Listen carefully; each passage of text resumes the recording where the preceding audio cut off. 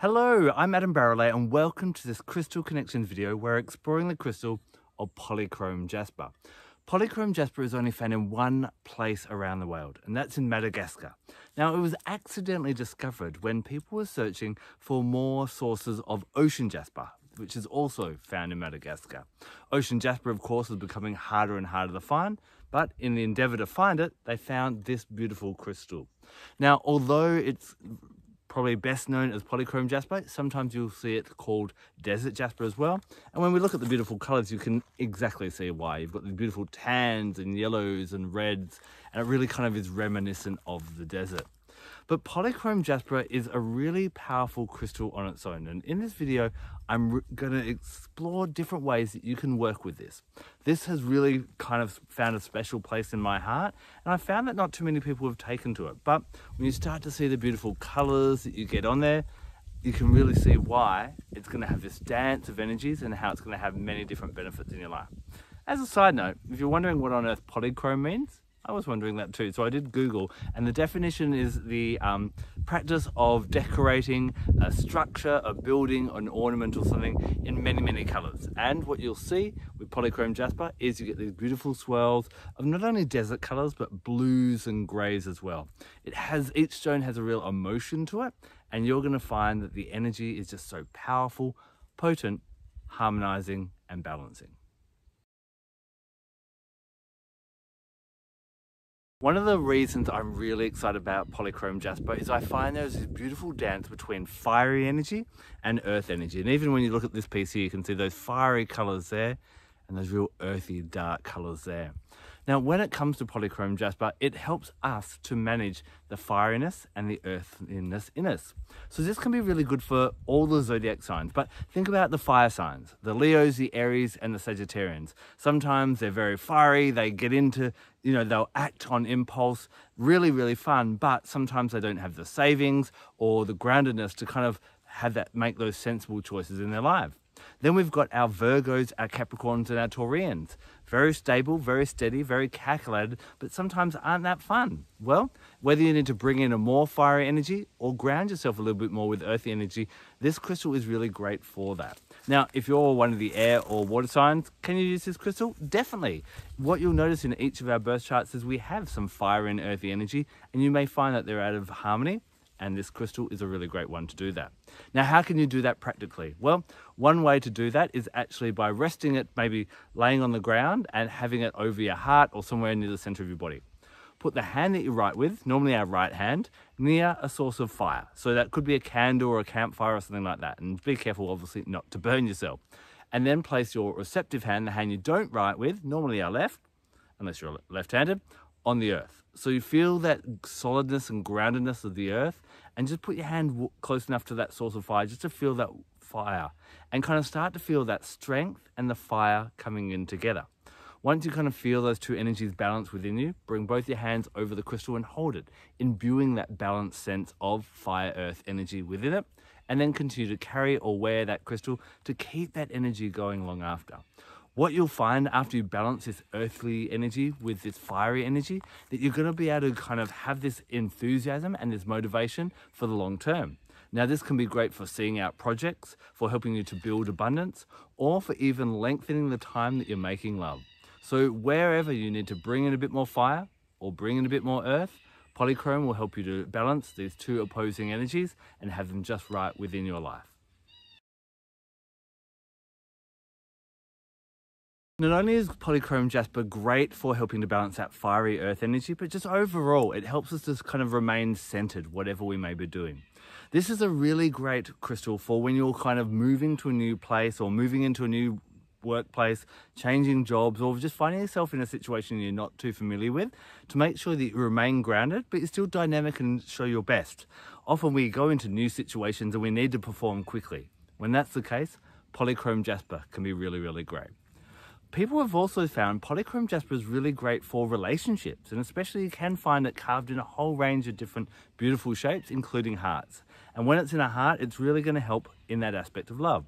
Now, when we think about love, of course, we want that to be a balanced um, aspect of our lives as well. We want to give in our relationship, but we also want to receive. And polychrome jasper can help us if we're looking for a long-term relationship to keep that fire going, but also to keep us grounded and that, that longevity that the earth element brings. If you are looking for a soulmate where there's this deep earthly connection, but also a spark, then polychrome jasper could be a good one to bring in. It's also a really great one to make sure that if you're single, you don't obsess about being single and finding a partner. This is just one aspect of your life. There are other aspects. There is your health, there's your family, there's your education, there's your contribution to the world, what you do to the community, all these different aspects. And Polychrome Jasper makes sure that you remain a balanced person and not just a desperate person who wants to find a partner and then their life will be complete. Polychrome Jasper will help you find harmony to be grounded and strong wherever you need it, whenever you need it. One other really interesting aspect of this polychrome jasper that I've found, and even being out here for a few minutes out in the Australian bush, and today it's about 40 degrees outside, so it's quite a hypnotic kind of weather out here at the moment. But it has this really grounding and connecting you to the earth. And whether it be in a desert or where, wherever you may be in the world, polychrome jasper is really going to help you, but especially in those dry and harsh environments to feel the strength. There's a certain strength I find in dry and warm climates that polychrome jasper can really help you connect with. It allows you to sink your etheric roots into the ground and really feel that energy and draw that up. Now, if you are feeling a bit disempowered, wherever you are in the world, being able to connect to the strength of the earth and allow it to ignite the fire within, well, meditating and visualizing that with polychrome jasper can really help. So see roots going into the ground, connecting with the earth, breathing that in, and as you breathe in the energy, feel that fire within you know the center of your body really start to spark up and give you power. I also find that this, because it's associated with Madagascar, of course Madagascar is the home of the lemurs, of which the Lemurians have a strong connection to. Lemuria, of course, is an ancient civilization that lived in harmony with the planet, that lived in harmony with each other, in a real community, tribal kind of, everyone had an important role to play um, kind of approach to life. And I think there's a need for us here on Earth to get back to that Lemurian wisdom right now. And that's why other crystals like Lemurian seed crystals are so valuable. But polychrome jasper can really help us to hone into that, that um, I guess, memories that have soaked into the earth over eons and eons of time. In fact, polychrome jasper is a great one for not only connecting with Lemurian wisdom, but bringing it forward into today. This is going to be a powerful crystal, and I think it's interesting that it was found just in 2008 to help us as a world uh, transition to being a fully sustainable world. Bringing in renewables, being environmentally friendly, no longer relying on fossil fuels and so on.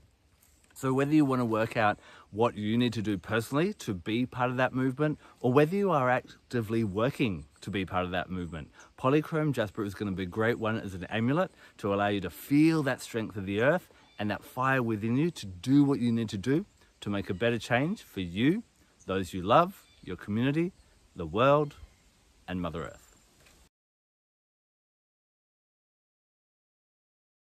When you're working with polychrome jasper, it's going to bring in that real power, but you want to keep on bringing it back out into nature to allow it to rebalance itself so it can give you its most.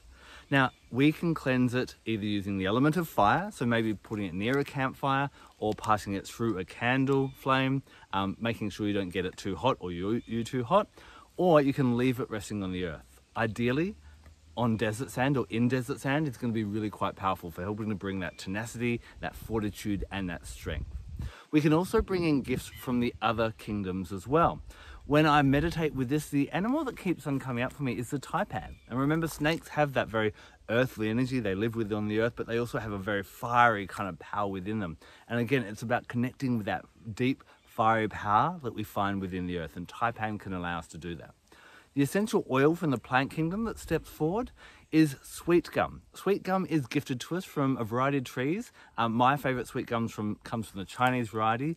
And when you steam distill that resin, you get this essential oil that's so beautiful sweet. It kind of smells like sweet almonds or marzipan almost.